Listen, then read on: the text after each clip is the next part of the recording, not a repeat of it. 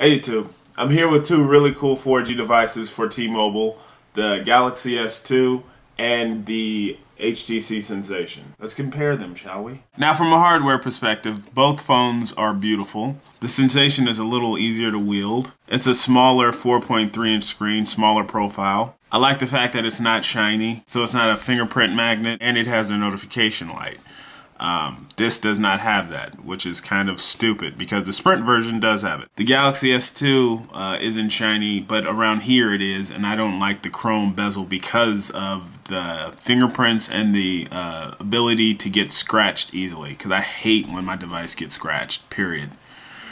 It always bothers me because even if no one else can notice it, I do. Sensation all around well-built device, feels good in the hand. Not too heavy, not too light. Uh, Galaxy S2 may be a little too big for some people, especially if you have small hands. But hey, this is a 4.3 inch screen. Like, this might be too big for some people. And I don't want to hear any jokes about size.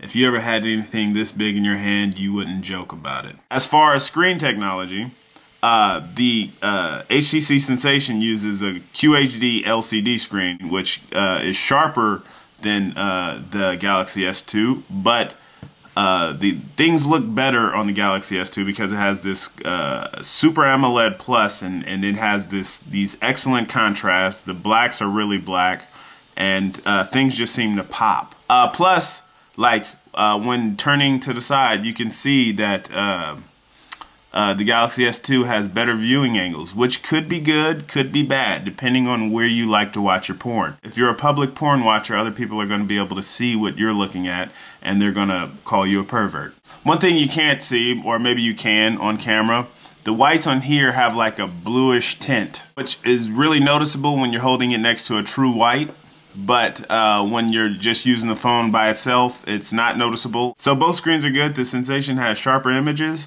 but I prefer uh, the Galaxy S2 just because things just look amazing on them.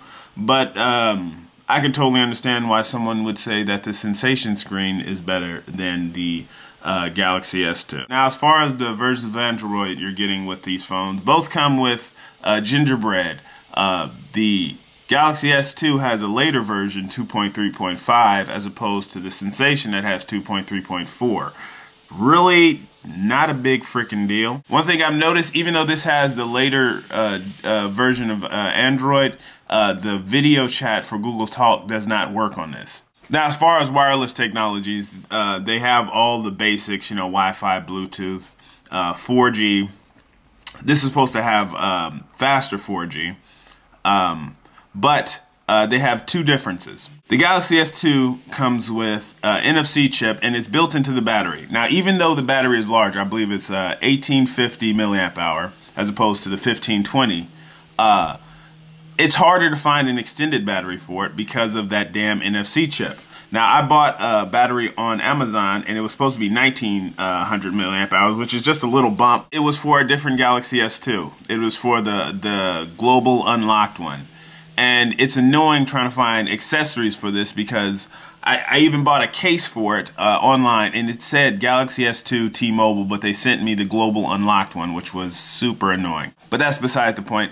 The NFC, I have yet to use it. Like, I think it's really cool, and I think the Nexus S, what they're doing uh, on Sprint, like the the whole uh, NFC payments, I want to be able to do that, and hopefully they will be able to do that down the line. But as of right now, I can't do that. Now the HTC Sensation doesn't have an NFC chip, but it does have an FM radio, which is more useful than an NFC chip right now because I use that while I'm at the gym to listen to whatever's on TV.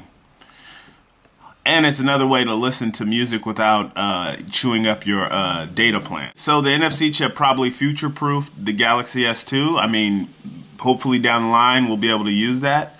Uh, right now, not very useful. FM radio, more useful. Plus, buying accessories for the HTC Sensation is a lot easier because there aren't a bunch of uh, variations of the phone. Now, as far as uh, user interface, uh, this comes with uh, TouchWiz 4.0 and this comes with uh, Sense 3.0.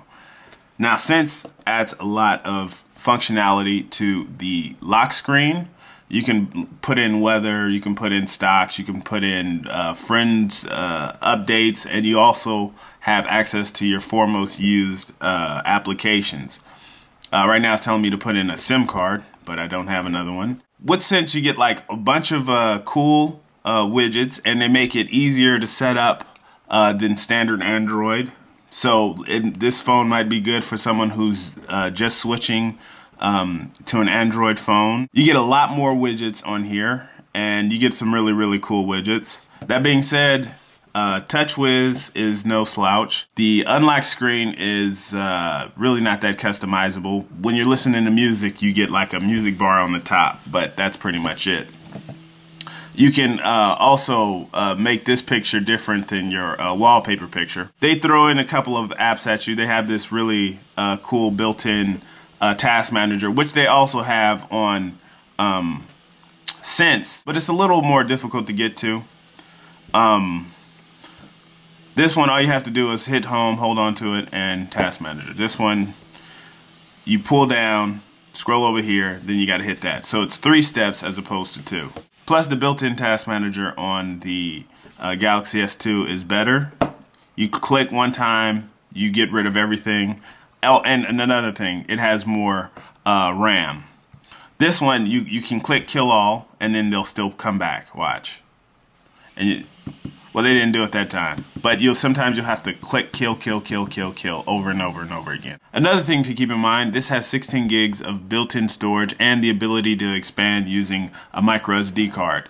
This has about one gig of built-in storage available and you can still expand. Now both of the phones come with bloatware, but I prefer the bloatware on the Galaxy S2. Not only because they give you full bloatware as opposed to the Sensation which gave me a freaking um, demo to a game called Nova. But if you have any applications on the Galaxy S2 that you do not want and you can't get rid of, you can categorize them as junk. Just throw them in one folder and you never have to look at them unless you open that folder. And it also works for uh, other things like I wanted to round up all of my emulators and put them in one folder, so that's what I did right there. Okay, both devices come with uh, built-in voice recognition. That's standard Android. But the native keyboards are different, and I've noticed that the Galaxy S2 uh, voice recognition is a lot more accurate than the HTC Sensation.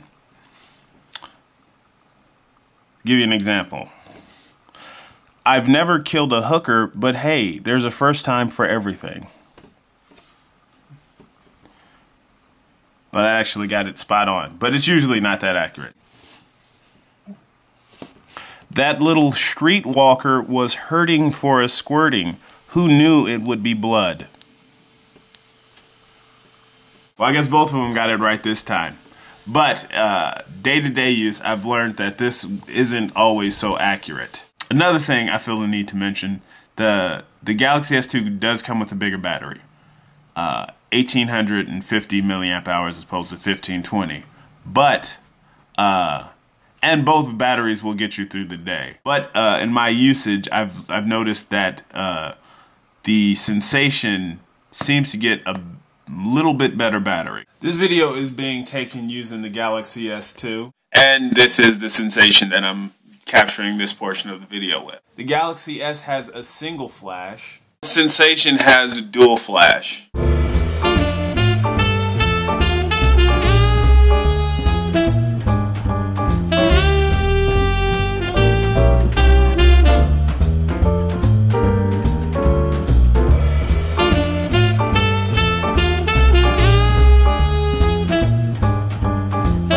YouTube, in summation, these are both really great devices. HTC packs a lot into uh, the Sensation with the FM radio. Uh, Sense 3.0 has a lot of functionality. Uh, I love Sense. There are a few problems that I have with it, like in such as occasionally while I'm in an app, I'll click home and then it'll be it'll take like 30 seconds to load up home because this has less RAM and when it runs out of RAM, it closes the home screen and there's a lot going on on the home screen. So for it to reload uh, takes a while. That being said, I think for most people, this should be the choice. It's simple to use. There's a lot of functionality. It's not too huge. I think most people will prefer the Sensation. My personal choice is going to be the Galaxy S2. The NFC, they're not using it. Um, future versions of Android are supposed to uh, take advantage of this, and both phones are confirmed to get uh, ice cream sandwich. But the thing that really makes me want it is the fact that it's so speedy. It does like this is like Android on uh, um, training wheels. Like this is for people who really don't know it. I I have a better understanding of it, so like some of the functionality that is on that phone, I can uh, easily uh, add to this phone. I love the screen, the Super AMOLED Plus. I, I like that it's huge. I just tend to like Samsung devices in general, but I really love the Galaxy S2. But the best way to figure out which one is for you is to get it home and play with it. Get it home. Don't steal it. Go to the store and play with it. That's the best way to do it. Don't be a thief. Stealing is wrong.